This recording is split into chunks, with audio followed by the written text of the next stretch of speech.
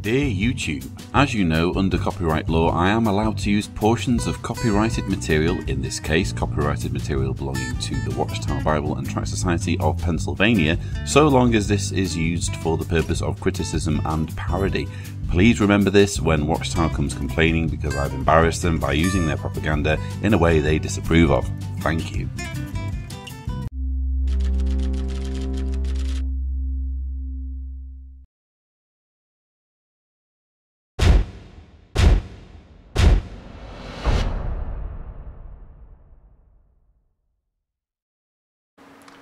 Hello there, my name's Lloyd Evans and welcome to a new series in which I take a critical look at the 2016 Remain Loyal to Jehovah Regional Convention of Jehovah's Witnesses. As you've probably guessed from the title of this video, I'm not a huge fan of this convention series. Having grown up as a witness, I've sat through a number of conventions and none of them compare with this one when it comes to the sheer scale of manipulation and coercion to do things that are completely unnatural to most human beings. A classic example of this can be found in the material on shunning that is presented to witnesses on the Friday of the convention. In this video I will go through that material and explain why Watchtower's teachings on shunning cause so much damage in people's lives. We begin by watching the first of three videos in which a fictional girl called Sonja, who is raised as a Jehovah's Witness, finds herself getting disfellowshipped. It feels so good to be with my family and friends.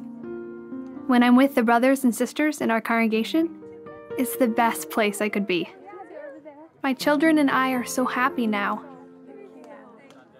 but it hasn't always been this way.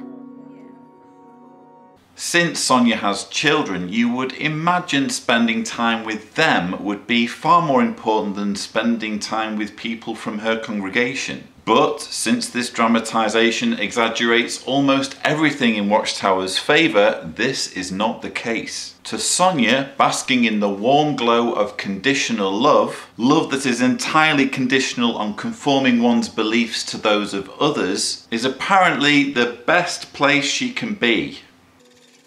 My parents were missionaries when my mom got pregnant with me. Mom and dad were very zealous and people just assumed that I would follow in their footsteps. And for a while, I did. I was the model child who was always held up as an example. Sure, the attention boosted my self confidence, but it also put me under enormous pressure. It was like everyone was watching me, and I couldn't make a mistake. What we are witnessing here in a nutshell is child indoctrination. If your parents believe devoutly in a particular religion, there is every chance you will be raised to believe in it too. This is the case whether you're raised Muslim, Catholic, Hindu, Mormon or Sikh. Unfortunately, in Sonja's case, the religion she was raised in by sheer accident of birth has a proven track record of dismantling families if members don't toe the line, including if they dare to question the teachings of the hierarchy. In my mid teens, I began to feel torn. I liked the truth, but I felt so confined. I didn't tell anyone how I felt. I just pretended everything was all right and went through the motions. Sonja describes feeling torn when she enters her mid-teens. This is actually quite a common experience for those who are raised as witnesses. After all, when you start out as a child, you just believe everything that your parents tell you to believe and just assume that it's true. But then when you become a teenager, you start to discover your authentic self. You start to establish your sense of individuality. And that sense of individuality will often conflict in many ways with the indoctrination you've been receiving. This conflict between the pressure to conform and the urge to establish one's individuality can lead to depression among teenagers. On the one hand, they have the natural need to establish their identity and explore their sexuality, but on the other hand, they have enormous pressure to show allegiance to the truth. The truth is the name given by Jehovah's Witnesses to their religion, to their organization. What Sonja's story ignores is that many witnesses, myself included, discover that the truth isn't actually the truth. The minute a Jehovah's Witness wakes up and starts thinking for themselves, they become a target for the very shunning that is described in this video. I envied kids who didn't have to live under so many restrictions. And if they got the truth later in life, they got to experience the best of both worlds. Sonja here describes envying those who have, as she puts it, the best of both worlds by enjoying their teenage years before becoming witnesses. It's probably worth pointing out that it is increasingly rare for someone who hasn't been pummeled with Watchtower indoctrination from birth to willingly embrace the organisation's authority over them.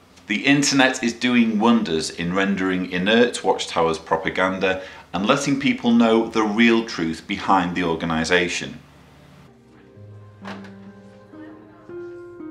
I thought maybe things would improve after I graduated high school.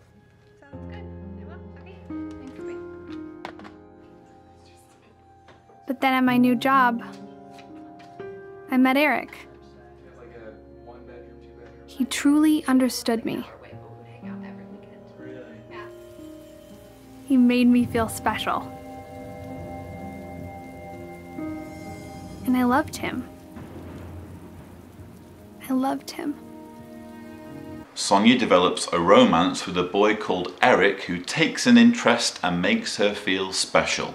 Unfortunately for Eric, he's in a no-win situation because Jehovah's Witnesses are not supposed to develop romantic relationships with those who do not share their faith. For all we know, Eric could be a perfectly nice guy, but in this video, he is an evil person. Why? Because he is the reason why Sonja turns away from Jehovah's organization. Interestingly, we don't hear anything else about Eric after Sonja describes sleeping with him. Watchtower therefore seeks to dehumanize him and make sure he doesn't feature in the story again. Their sole focus is Sonja and how her story can be used to remind witnesses that leaving the organisation is not an option. In many ways, I felt free. For the first time in my life, I could just do what I wanted. Not for the first time in this video series, Watchtower attempts to sell the idea that freedom is overrated. In many ways, I felt free, says Sonja, before adding, for the first time in my life, I could just do what I wanted. Lifelong JWs will sneer at such self-sufficiency and independence, not realizing that for most people, being in control of your own life rather than having it micromanaged from a conference room in New York is the rule rather than the exception. It wasn't long before our relationship became intimate. I felt guilt at first but after a while, it just seemed that this is what two people who love each other do. And I was willing to give up everything for him. Everything. Now things get complicated as years of childhood sexual repression, including needless and entirely unfounded prohibitions on masturbation, give way to a night of carnal abandon in a hotel.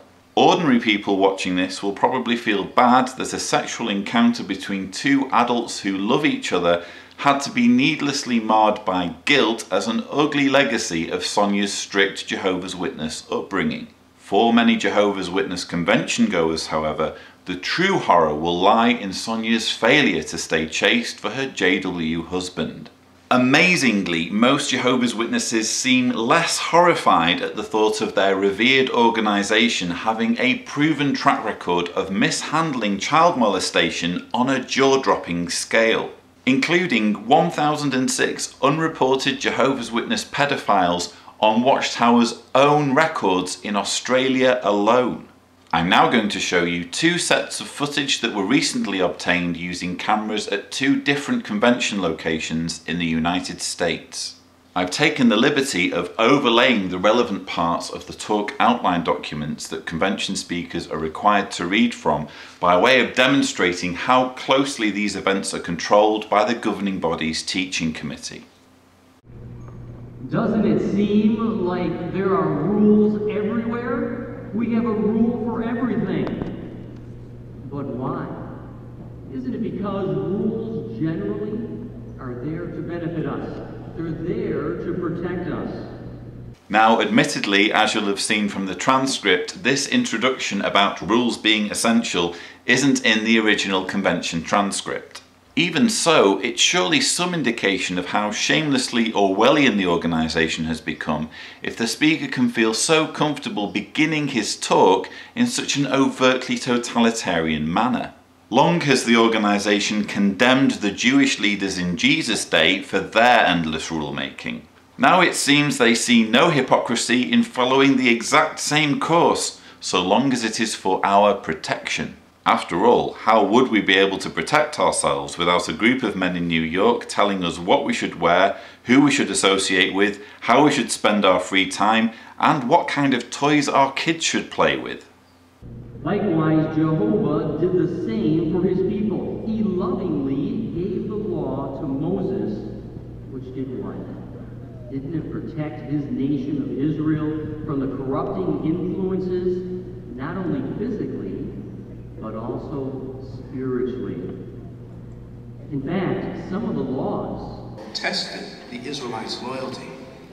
For example, God's law said that if an Israelite became an apostate, he was to be cut off, executed. Now, if that wrongdoer happened to be a family member, that would certainly be a test of loyalty. The speaker here paraphrases Deuteronomy 13, verses 1 to 11, which prescribes the death penalty for anybody who tries to predict the future using dreams, signs, and portents, or anybody who tries to induce others to go and worship other gods. Firstly, it wasn't all that difficult to commit a crime worthy of the death penalty in the Old Testament. Just ask the poor sod who was executed for collecting wood on the wrong day, or the woman who was turned into a pillar of salt for looking in the wrong direction, or the guy who was struck down by God for reaching out to rescue a priceless relic, the Ark of the Covenant, when it fell while being transported. Secondly, if the governing body's teaching committee is going to start quoting to us from Deuteronomy, it would do well to take a good long look at Deuteronomy 18 verses 20 to 22, which says, If any prophet presumptuously speaks a word in my name that I did not command him to speak, or speaks in the name of other gods, that prophet must die. However, you may say in your heart, how will we know that Jehovah has not spoken the word? When the prophet speaks in the name of Jehovah and the word is not fulfilled or does not come true, then Jehovah did not speak that word. The prophet spoke it presumptuously. You should not fear him. 1975. And if you're a JW watching this, before you start saying, we never said we were prophets, please just Google JW Facts Jehovah's Prophet for an article listing all the times that Watchtower has basically said their prophets. For every finger the governing body points at apostates, there are two pointing back at them. Likewise, since the first century, Jehovah God has commanded that we stop keeping company with unrepentant wrongdoers. I invite you to turn in your Bibles to 1 Corinthians, the fifth chapter. And note the clear direction in verses 11 to 13. That's 1 Corinthians chapter 5, starting at verse 11. But now I am writing you to stop keeping company with anyone called a brother who is sexually immoral, or a greedy person, or an idolater, or an reviler, or a drunkard, or a extortioner, not even eating with such a man. For what do I have to do with judging those outside? Do you not judge those inside while God judges those outside? Remove the wicked person from among yourselves. Yes, unrepentant wrongdoers are disfellowshipped. And we loyally uphold Jehovah's judgments when we avoid association with the wrongdoer. Yes, we need to know we must stop keeping company with unrepentant wrongdoers. Convention audiences are here being told that disfellowshipping has been commanded by Jehovah since the first century. As evidence of this, 1 Corinthians chapter 5 is read, which is really the only Bible passage that comes close to justifying the shunning practices of Jehovah's Witnesses. The first thing to point out is that far from dating back to the first century, disfellowshipping actually only dates back as far as 1952. If you're a JW and you don't believe me, type in 1952 and disfellowshipping into your Watchtower Library program and see what comes up.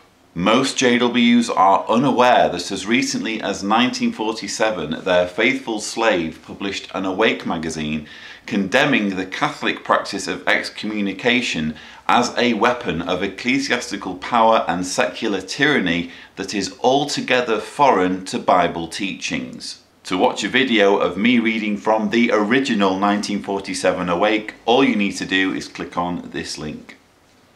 Even so, you may be thinking, but what that brother just read from 1 Corinthians 5 sounds pretty concrete.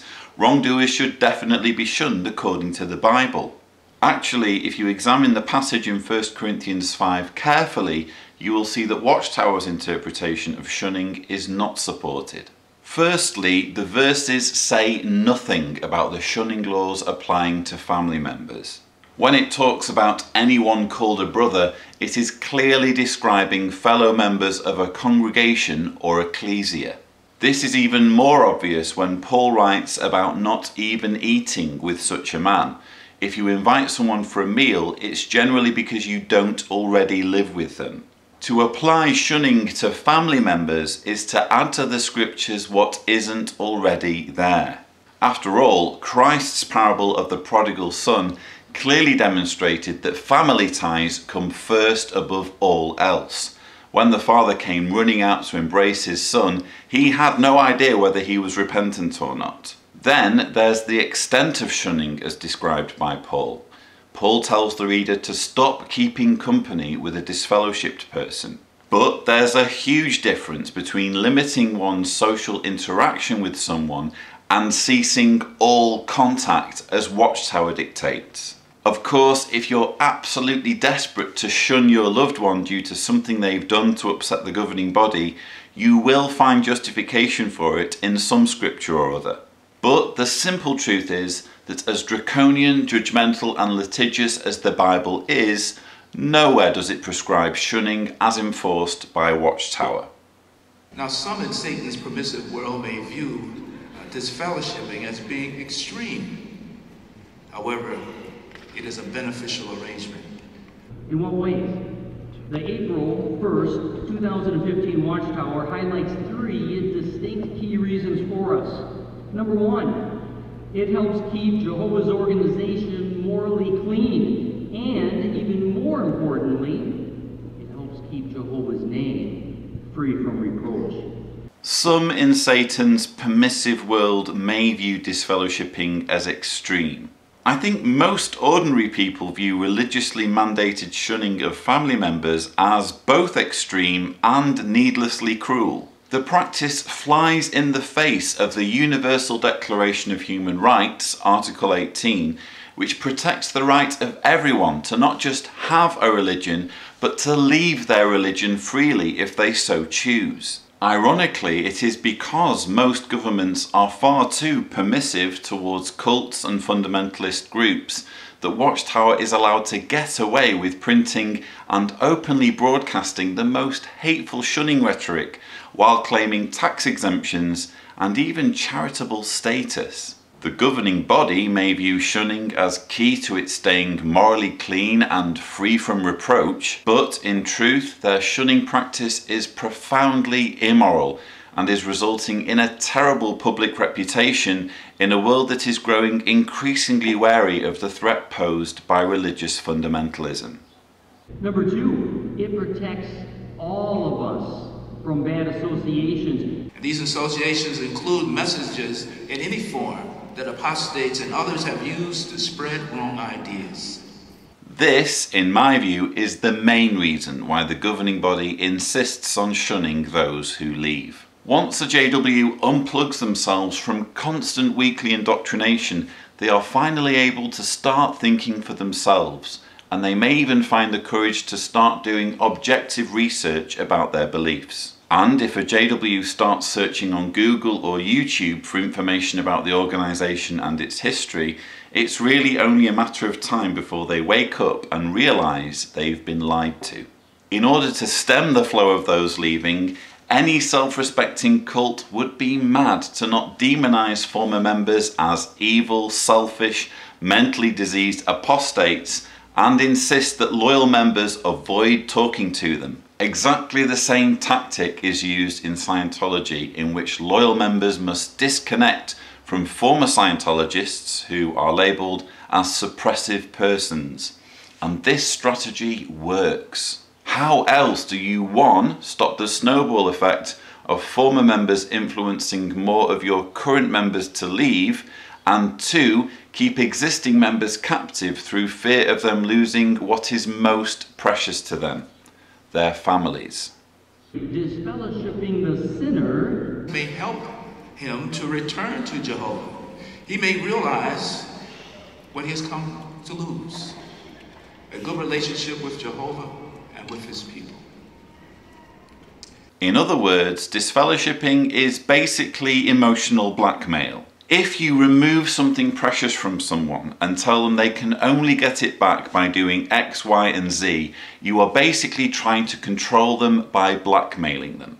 And there are few worse things you can do to a human being than separate him or her from their family. This can cause serious psychological and emotional problems. Watchtower does little to hide the fact that it expects disfellowshipped ones to return not because they believe the religion, but because they miss their families, as we shall see later.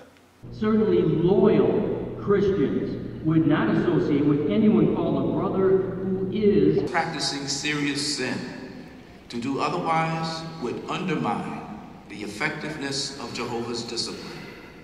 And this is true even when no congregation action has been taken, as may be the case when one is inactive for example, with the case of a long-time inactive one. Notice the following example. One young witness remembers the stand that he and his brothers took when their mother, long inactive as a Christian, entered an adulterous marriage.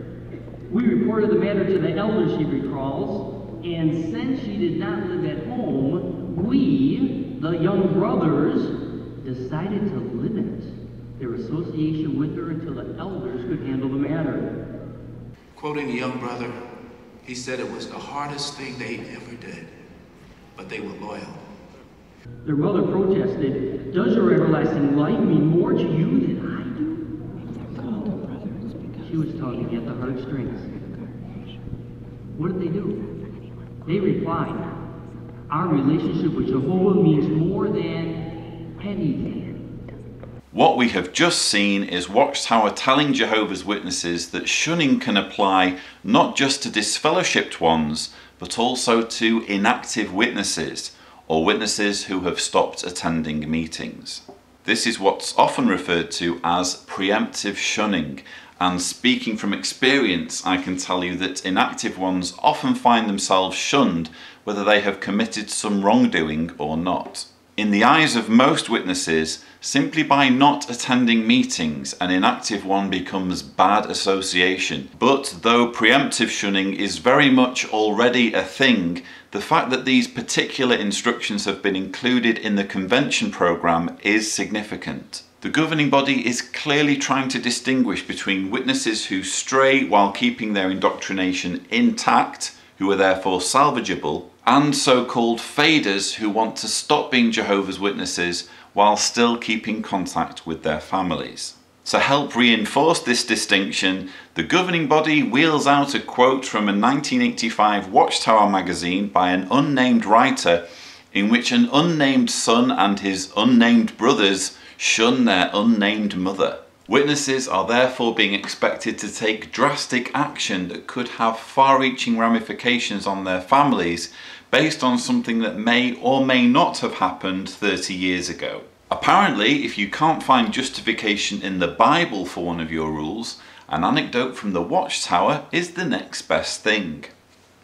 And this can be a real trial when a family member is involved. We must not allow strong family ties to lead us to compromise loyalty to Jehovah and his organization. In this dramatization that follows, note how loyalty results in a blessing.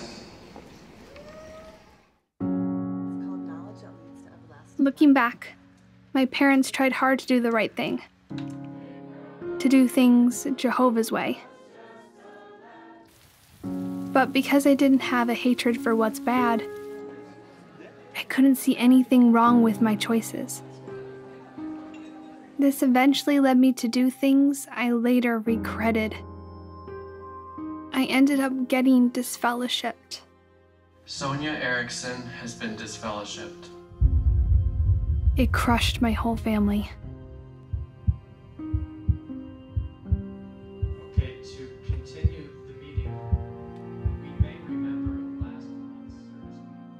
Predictably, in this dramatisation, Watchtower wastes no time in blaming the victim.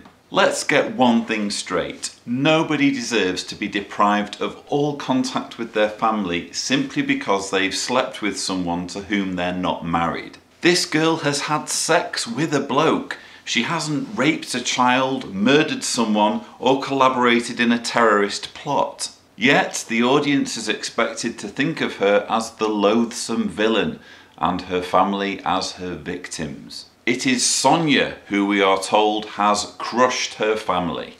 In truth, both Sonja and her family are the victims, and the true villain pulling the strings off camera is Watchtower, and specifically the governing body. They could easily enact disciplinary laws that harmonise with the Bible without violating people's human rights. Instead, they perpetuate a barbaric practice that their own publications once described as altogether foreign to Bible teachings purely to maintain power and control over their followers. And families all over the world, including mine, are paying the price. Later, my father explained to me that I couldn't remain in the home because I refused to change my lifestyle. He told me I was having a negative effect on my younger brother and sister. Then I'm out of this house.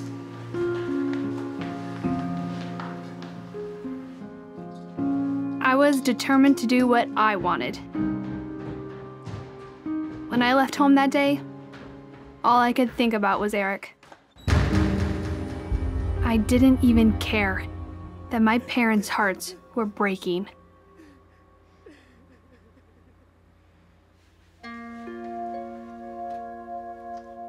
I didn't think about the devastation and disappointment that I had caused them. I blamed my parents for my situation. I even blamed Jehovah. Again, neither the parents nor Sonja are to blame in this situation. Both are clearly under the spell of an organisation that indoctrinates its members from childhood to maintain strict loyalty to its commands. But how is it possible for Watchtower to control people to the extent that a parent can disown its child? Speaking as a father, I would sooner die than look my daughter in the face and tell her she is no longer a part of my life. Sadly, mind control, otherwise known as undue influence or brainwashing, is such a potent force that people in cults can be manipulated into doing things that run entirely contrary to human nature. A key component of Watchtower's particular brand of mind control is propaganda like this. Rather than present a realistic scenario in which a distraught daughter pleads with her father to be reasonable and show mercy, we are presented with a stubborn, scowling, uncaring brat who anyone would be glad to see the back of. Watchtower wants you to think that disfellowshipped people are like this, that they are bad, selfish people who deserve to be treated with cruelty. And the worst part is, Time and again, this coercive strategy works only too well. Witnesses fall for it, hook, line, and sinker. My family missed me so much, even after all I had done. What helped them to remain loyal to Jehovah for the many years I was disfellowshipped? It was the Bible account of Aaron. Jehovah directly judged two of Aaron's sons and put them to death. In this case, Jehovah asked Aaron and his family not to mourn in order to show the entire nation that they supported Jehovah's judgment. Mom and Dad saw that they needed to be loyal, just like Aaron. There you have it, folks. Not only are Jehovah's Witness parents expected to disown their own children if Watchtower tells them to, they are also expected to consider them dead in the same way as Aaron's sons, who were killed by God with fire from heaven. This is actually not the first time Watchtower has made this grotesque comparison. Here is a passage from the July 15th, 2011 Watchtower, the same magazine issue that told witnesses that they should consider apostates as mentally diseased. Moses' brother Aaron faced a difficult situation with regard to two of his sons. Think of how he must have felt when his sons Nadab and Abihu offered illegitimate fire to Jehovah, and he struck them dead. Of course, that ended any association those men could have had with their parents. But there is more. Jehovah instructed Aaron and his faithful sons Do not let your heads go ungroomed, and you must not tear your garments in mourning, that you may not die, and that Jehovah may not become indignant against all the assembly. The message is clear. Our love for Jehovah must be stronger than our love for unfaithful family members. It hopefully goes without saying that an Old Testament account in which God arbitrarily decides to end the lives of two people cannot be invoked as justification for depriving someone of family contact simply because they have transgressed one organisation's interpretation of the Bible. But most disturbing of all is the extent to which the governing body insists on controlling parents in this situation. It isn't enough that they merely show obedience by kicking their child out of the family. They also need to be careful that they don't become guilty of thought crime by missing their child and mourning their loss, which, according to Watchtower, should be thought of in the same way as a divine execution. It is quite simply a case of loyalty to Watchtower first, loyalty to family second, which is just outrageous. Especially considering that a July Awake article once declared no one should be forced to worship in a way that he finds unacceptable or be made to choose between his beliefs and his family. They loved me and wanted me to come back to Jehovah. I tried to contact them. I just wanted to talk and to hear their voice. I missed being with my family. And they thought about reaching out to me. But they knew that if they had associated with me, even a little, just to check on me, that small dose of association might have satisfied me. It could have made me think that there was no need to return to Jehovah. Could you get more blatant emotional blackmail? If Sonja wants to return to Jehovah, surely she should be motivated to do so because of her beliefs, rather than in an effort to re-establish contact with her family. But Watchtower is quite open about the fact that disfellowshipping is first and foremost a weapon, a punitive measure in which someone is deprived of their family and can only get their family back if they agree to toe the line. It's essentially a hostage taking scenario that is going on as we speak in countless families around the world with little to no action being taken by governments and authorities. Then we have the ignored phone call. What if Sonja had been under attack? What if she was being raped and urgently needed help? How would her parents live with themselves if they found out the next day that she'd been murdered moments after her attempted phone call? Not inviting someone to family meals is one thing. but Jehovah's Witnesses watching this would do well to consider whether it is moral or ethical to impose this extreme level of shunning when there is absolutely no justification for it in the Bible. You don't have to let yourself be controlled by Watchtower. You are free to think for yourself. This video is a grotesque piece of propaganda worthy of the disdain and contempt of any reasonable free-thinking person, even if Jehovah's Witnesses at conventions are greeting it with applause. It could have made me think that there was no need to return to Jehovah.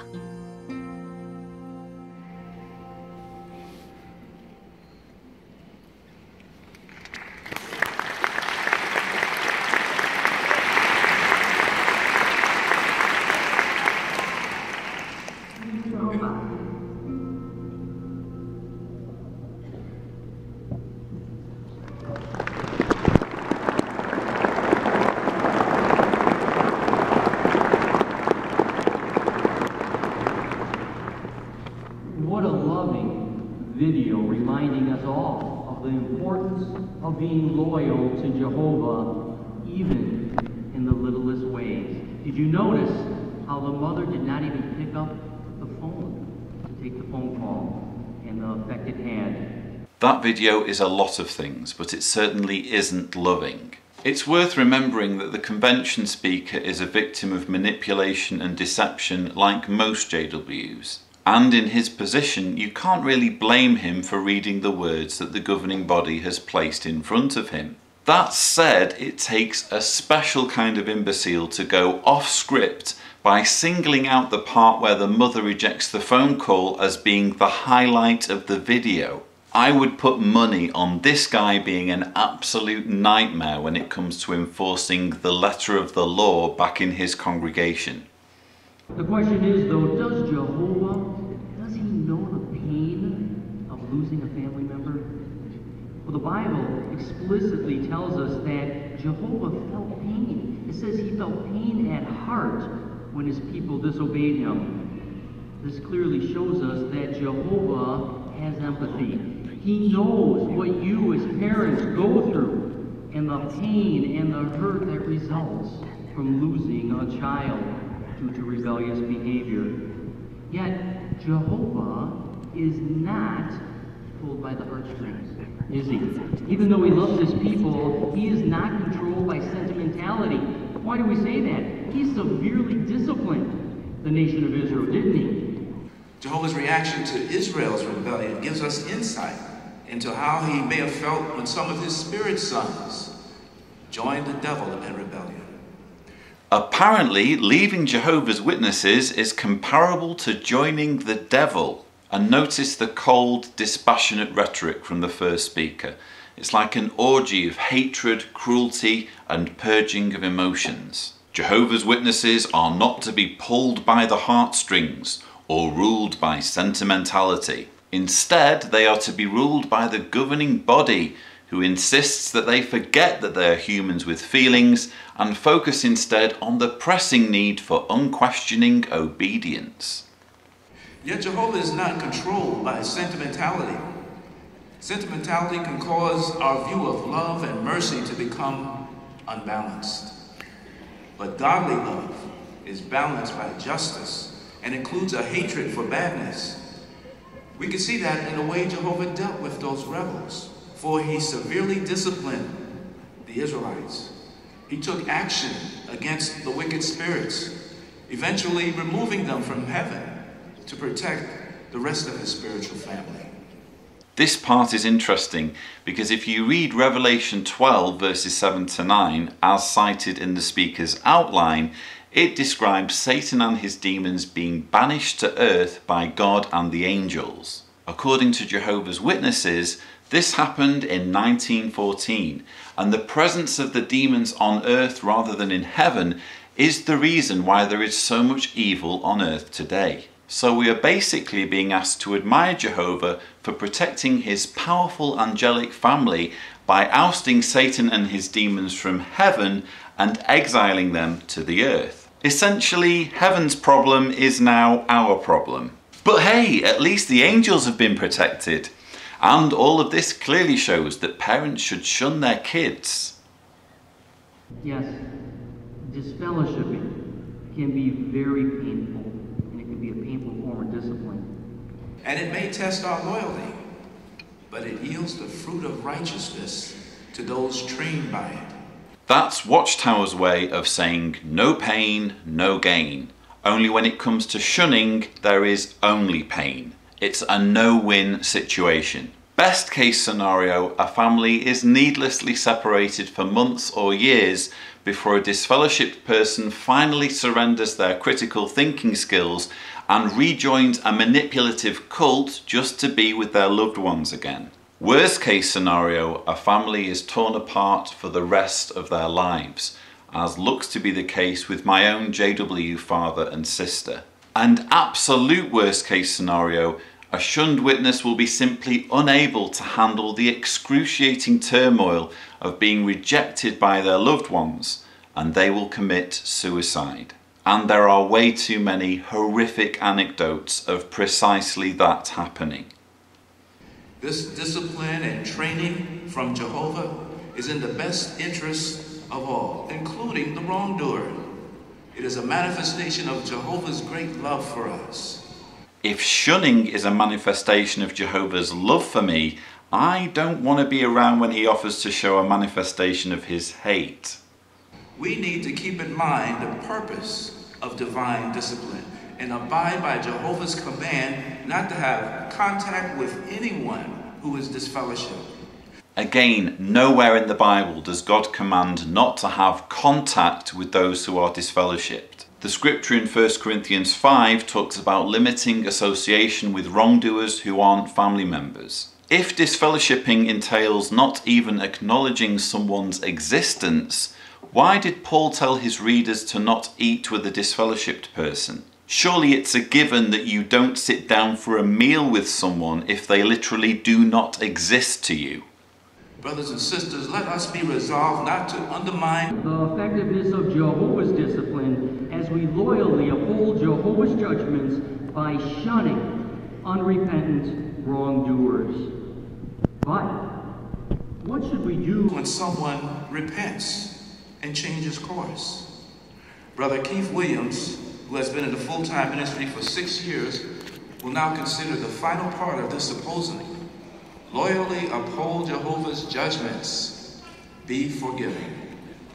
I know you'll probably be gutted to hear this, but so far I don't have video footage of the other two parts of this symposium, the part before and the part after. Rest assured, however, you have definitely heard the worst of the three symposium parts. And if you want to check out the leaked outlines and videos for the rest of the convention talks, you can do so by googling Avoid JW Convention 2016.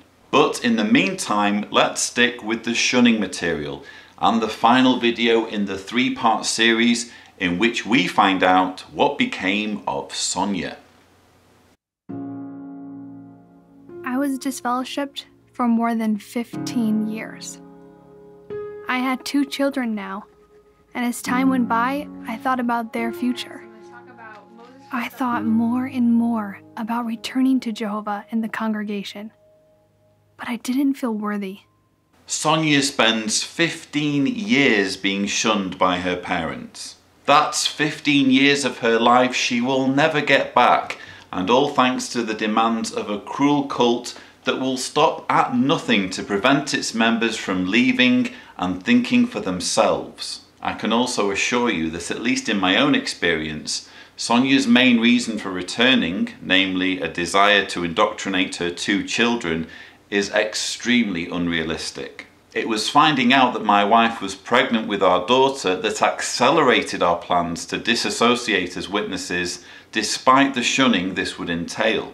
We simply couldn't stomach the prospect of raising her to believe Watchtower's unfounded, harmful teachings or allow our believing witness relatives any excuse to indoctrinate her on our behalf. It is for this reason that we named our daughter Jessica Liberty, so that she will always be reminded of just how close she came to being born into a life of control, coercion, and paranoia. And I know of other witnesses who also left because they simply couldn't bring themselves to fill the minds of their children with manipulative nonsense they knew in their hearts to be untrue. One day, two elders stopped by and kindly reminded me that Jehovah wants me to return to him. They showed me Psalm 86, verse 5, where it says that Jehovah is ready to forgive. Ready to forgive. I thought about that verse the rest of the day. Jehovah is ready to forgive.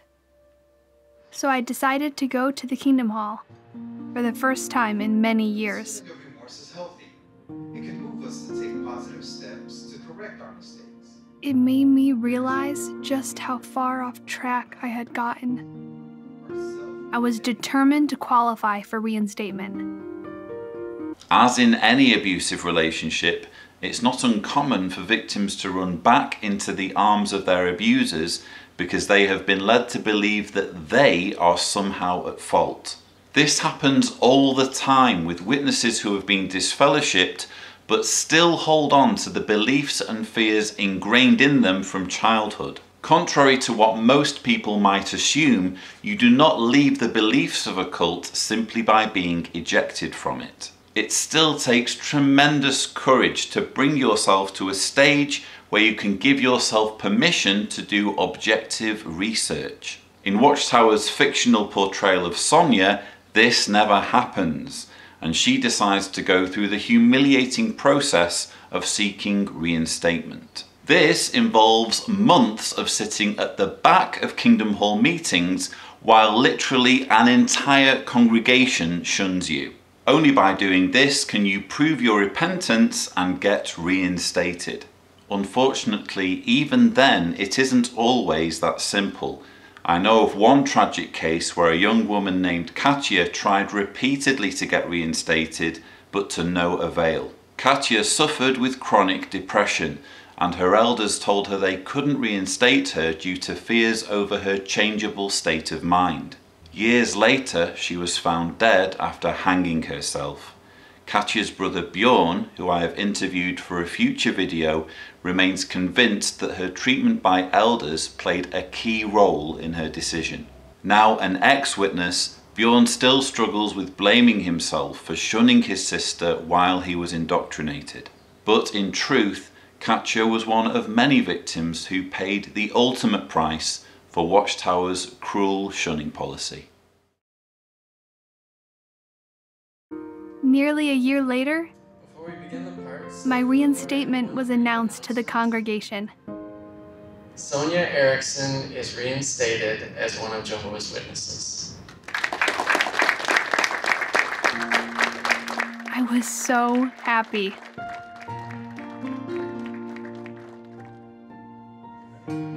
Brothers and sisters welcomed me very warmly. Being back together again with my family and Jehovah made me feel so good. I knew this is where I needed to be, and I didn't ever want to leave again. Does Sonja really have a choice whether she stays or leaves if leaving comes with the penalty of family estrangement, one of the severest forms of punishment imaginable? Don't get me wrong, all that love bombing following the announcement of her reinstatement looks lovely. But of what benefit is love and friendship when it is entirely conditional on unquestioned loyalty to a set of religious beliefs? Suppose Sonja's parents were to discover they have made a monumental mistake by devoting their lives to a harmful cult. There would be no graceful way for them to back out without being disfellowshipped or disassociated themselves. And if that were to happen, Sonja would find herself back at square one with no relationship with her parents. Only this time, she would be the one doing the shunning. But when I'm alone, I struggle with whether Jehovah has really forgiven me. One time I was so distraught that I called my father for help. He comforted me with the words of Isaiah 1, verse 18, where Jehovah says that our sins, which are like scarlet or crimson cloth, can become white like snow. Then my father related the Bible account of Manasseh. Manasseh did on a grand scale what was bad in Jehovah's eyes to offend him. He even sacrificed his sons in false worship. Eventually, Manasseh genuinely repented, and Jehovah forgave him. This Bible account touched me deeply. Now, I have to be willing to forgive myself. If Jehovah was willing to forgive the sins of Manasseh, as bad as they were, surely he has forgiven me. Don't worry, Sonja. You may have slept with a bloke who wasn't your husband, which, as we all know, is a sin worthy of being shunned by your parents for 15 years, but at least you're not as bad as some random Bible character who sacrificed his kids. And Manasseh may have killed his children, but at least he wasn't as bad as Lot's wife, who, as we all know, was totally worthy of being turned into a pillar of salt for momentarily looking in the wrong direction. Seriously though, if anyone should be begging for forgiveness, it's the leaders of an organisation that pulls families apart just to assert its power and control, causing lasting damage in people's lives. What a blessing to understand that Jehovah forgives in a large way. And now, I'm truly happy. A fictitious girl in a cult video is truly happy, for whatever that's worth. More likely, Sonja is happy because, having sacrificed her freedom, she can now at least expect her mother to pick up the phone. For many people, bowing to Watchtower is a small price to pay for getting their family back, but it's a choice nobody should be forced to make.